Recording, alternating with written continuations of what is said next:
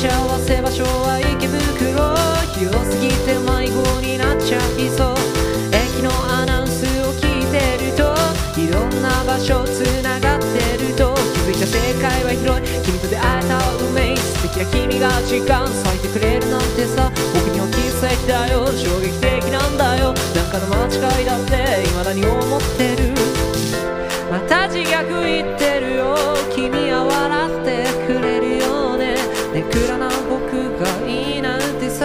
異世界のキャラかなんかですか？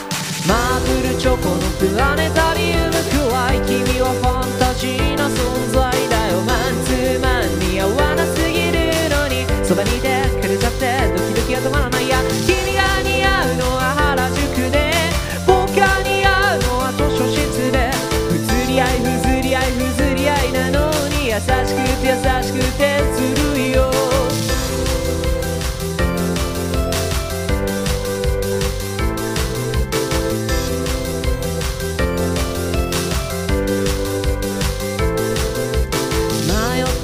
まってごめんなさい。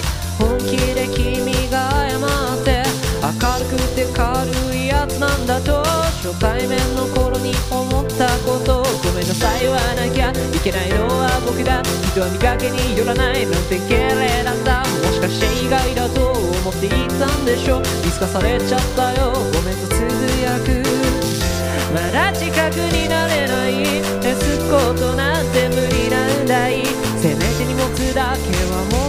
とぎこちない今の精一杯。